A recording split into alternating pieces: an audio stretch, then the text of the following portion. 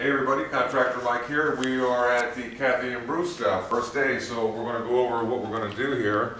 Um, First of all, we're gonna put all new wood flooring in, so all this carpet's gonna come up. We're gonna take all the baseboard up because we wanna do it professionally. So when the floor goes back down, we'll put the baseboard back and there won't be any shoe mold at the bottom. So we're gonna take out this big giant eight-foot slider door, and we're gonna put in six-foot French doors in here, so it'll be a much nicer arrangement and a much easier door to operate. Right here, we're gonna have a really nice entertainment center, TV, we're gonna bring power and cable and all that over here because they entertain the family a lot and they wanna have a place for the kids to go. So this wall blank now, won't be blank later.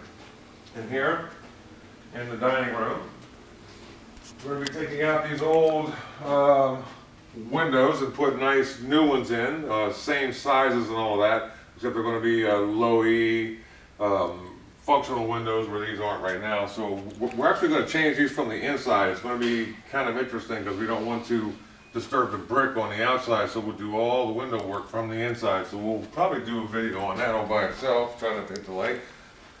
In the kitchen, all this is coming out, flooring is coming out, back in the family room, all that's gonna come out. And we're gonna have a brand new layout in here, we're gonna have the coolest island, it's gonna be a really cool shape.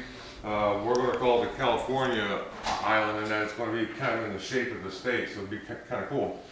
Uh, and then, um, over here, this butler's pantry is gonna come out, and now they're gonna be tall cabinets for their storage for, um, you know, canned goods, they're gonna be pantry, uh, type cabinets in here. And we're gonna take out the light box, obviously, the light box comes out, we're gonna have can lights all through here, we're gonna light up the space really nicely, we're gonna change all the existing light fixtures in the house. And it's just gonna be, um, a nice new modern space, so come back and we'll do it again, thanks.